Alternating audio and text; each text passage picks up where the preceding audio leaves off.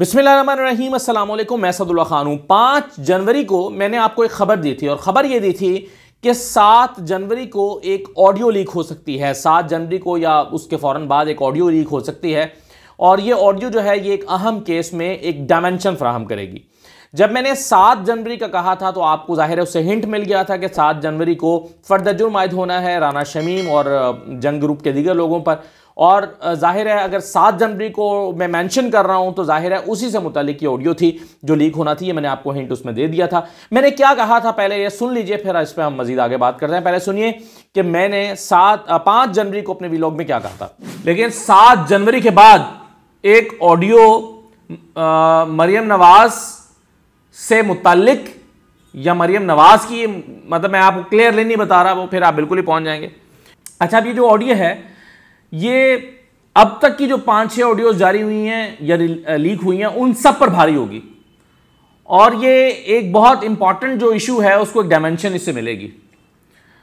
तो ये जो चीज़ है, ये मरीम नवाज़ साहबा को परेशान किए हुए है। ये शायद उनके पास भी उनके सोर्सेज से खबर हो कि ये होने वाला है, ये हो सकता है, और वो उसको काउंटर करने में लगी है। अच्छा अभी आपने सुन लिया, फिर सात जनवरी आया दो दिन के बाद, और सात जनवरी को ये ऑडियो लीक नहीं हुई।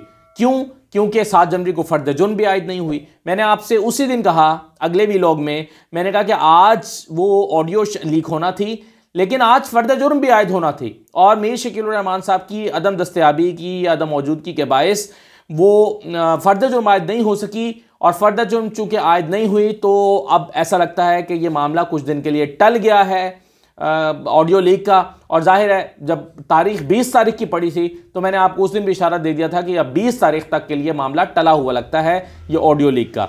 आ, अब उस फिर सात जनवरी के वीलॉग में मैंने क्या कहा था ज़रा आप ये भी सुन लें। एक खबर मैंने आपको दो दिन पहले दी थी कि सात जनवरी को के बाद एक बड़ी इंपॉर्टेंट ऑडियो लीक हो सकती है।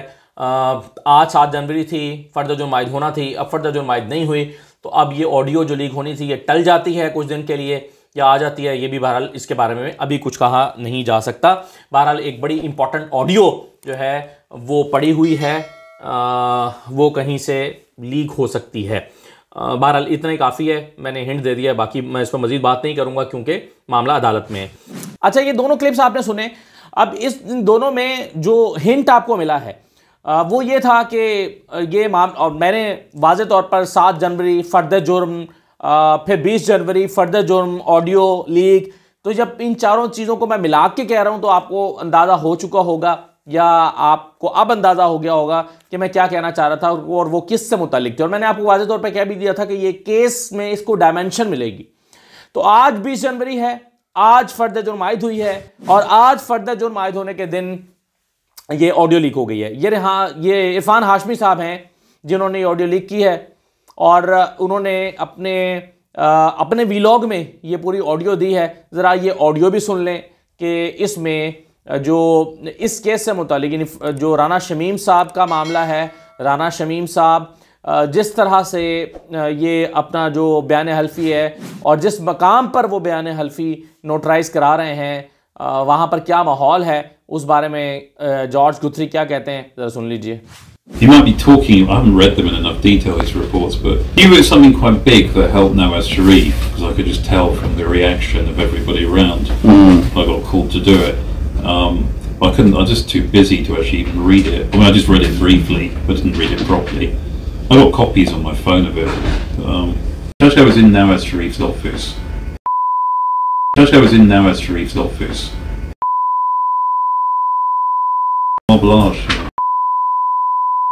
Blanche. Blanche.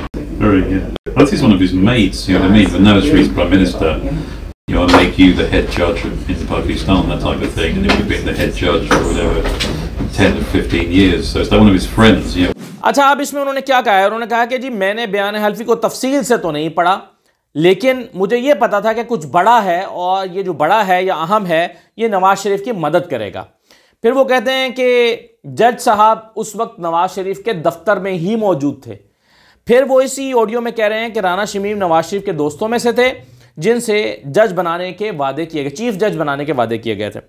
फिर वो ये भी कहते हैं कि वो नवाज़ शरीफ के दफ्तर में थे और जब वो वहाँ थे तो काफ़ी दोस्ताना माहौल था। अब इरफान हाशमी साहब जो हैं, वो पहले भी ये खबर जो है वो वो ब्रेक कर चुके हैं, वो खबर दे चुके हैं कि ये जो सिग्नेचर हैं ये सारा मामला हुसैन नवाज़ के दफ्तर में, नवाज़ शरीफ के दफ्तर में हुआ है।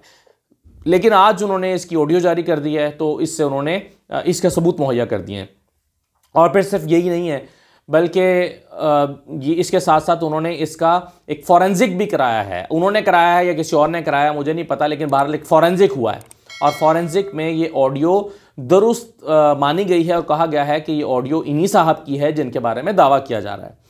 तो ये जो मामला है, वो आपने इस ऑडियो के साथ, यानी वो जो मेरी खबर थी कि सात जनवरी को एक ऑडियो आ सकती है और फिर सात जनवरी को मैंने कहा था कि मामला बीस तक टल गया है।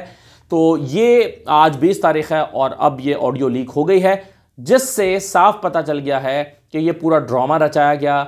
नवाज़ शरीफ साहब, हुसैन नवाज़, मरियम नवाज़ और इसके साथ साथ ये जो राना शमीम साहब हैं, ये सारे इसमें इन्वॉल्व थे और मिलकर प्लान बनाया गया। इस ऑडियो को अगर दुरुस्त मान लिया जाए, या ये ऑडियो अगर दुरुस्त है तो इससे साबित होता है कि राना शमीम झूठ बोल रहे हैं और राना शमीम गलत कह रहे हैं कि जी मैंने तो इसको दराज में रखने के लिए और अपनी बीवी से वादा पूरा करने के लिए अपने नवासे को दिया था और ये हमेशा के लिए मैंने उसको दराज में बंद करने के लिए दिया था। ये पब्लिक ऐसे हो गया, मुझे नहीं पता ये राना शमीम कह रहे हैं, लेकिन अगर ये ऑडियो दुरुस्त है कि ये हुसैन नवाज़ के दफ्तर में साइन हो रहा है तो इसका मतलब एक मनसूबाबंदी के साथ, एक खास मकसद के लिए साइन किया गया।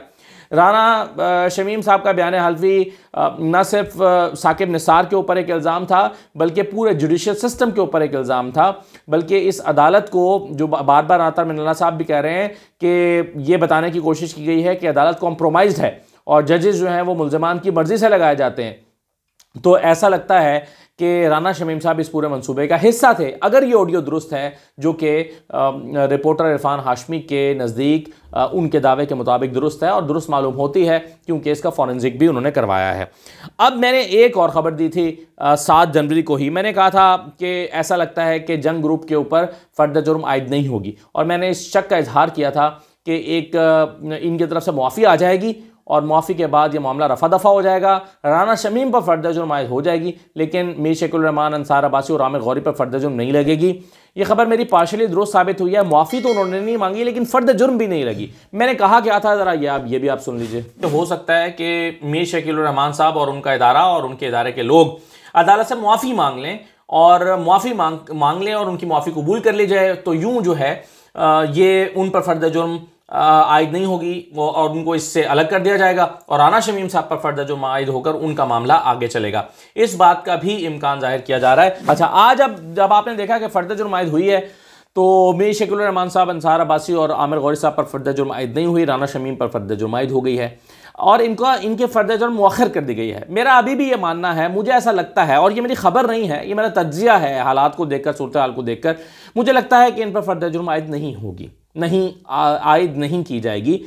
ये मुआफ़ी मांग लेंगे या कोई और दरमियानी रास्ता? वैसे मुझे यही लगता है कि इनकी तरफ़ से एक हल्की फुल्की सी मुआफ़ी मांग ली जाएगी और उसको, उस पर अदालत दरगुजर करेगी। आज भी अदालत ने फ़र्द जुर्म आयद नहीं की, वरना आज राना शमीम पर आयद हुई है तो इनके ऊपर भी आयद हो सकती थी।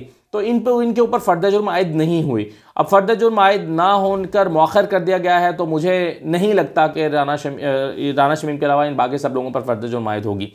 तो मेरा मे, मुझे ये लगता है कि फ़र्द जुर्म आयद नहीं होगी। अब फ़र्द जुर्म बहुत सारे लोगों का ख्याल है इस पर जो एक्सपर्ट ओपिनियन है कि फ़र्द जुर्म आयद होना चाहिए लेकिन बाहर अटर्नी जनरल पाकिस्तान ने या अदालती मुआविन ने यही अदालत को राय दी है कि जी सहाफ़ियों पर फ़र्द जुर्म आयद न की जाए। उन्होंने अपनी सहाफ़त की जिम्मेदारियाँ सर अंजाम दिए चले उसमें कुछ कमज़ोरी रह गई उसमें कोई गलती रह गई लेकिन उसको बैड इंटेंशन से ताबीर न किया जाए और फ़र्द जुर्म आयद न की जाए। अब देखिए आने वाले दिनों में क्या होता है। लेकिन मैं फिर जाते जाते कह रहा हूँ, मुझे लगता है कि मीर शकील रहमान और उनके बाकी मुलाजमीन या साथियों पर फ़र्द जुर्म आयद नहीं होगी। बहरहाल, अदालत का अख्तियार है। अदालत चाहे तो कर भी सकती है और चाहे तो मुआफ़ी भी दे सकती है। इजाज़त दीजिए, अल्लाह हाफ़िज़।